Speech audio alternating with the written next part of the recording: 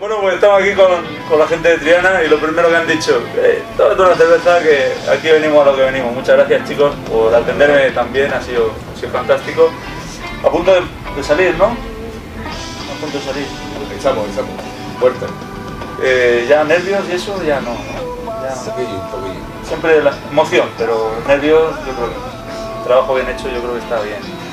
Bien trabajado, suena muy bien Aquí cada uno, se está escuchando en, la prueba de sonido, tocan la batería espectacular, la guitarra igual, también, eres bajista.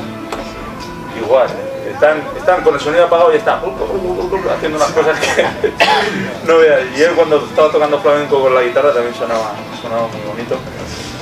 Mm, yo qué sé, no sé qué preguntaros, porque con tanto tiempo que, que lleváis y, y, tantos discos, tantas giras, ¿no estáis cansados de tocar tu frialdad? Jamás. Jamás, ¿no? Yo creo que ese es un, yo creo que uno de los himnos ¿no? de, de Triana. Y si, si no si vais sin tocar esa canción, no pues No abre la puerta. ¿Es la última? Sí. ¿La de tu filateado o la de abre la puerta? Abre la puerta. Abre la puerta. Que se vaya ya la gente, abre la puerta. Abre la puerta. A ver si lo coges, ¿no? bueno chicos, pues muchísimas gracias. Les estamos mostrando a nuestros amigos de YouTube pues, cómo es un concierto por dentro, en este caso un festival. Son músicos profesionales, gente de, primera categoría, pero son gente normal, gente muy amable, doy fe de ello. No puedo daros más que, las gracias y, y desearos muchas, muchas gracias de verdad. Gracias y gracias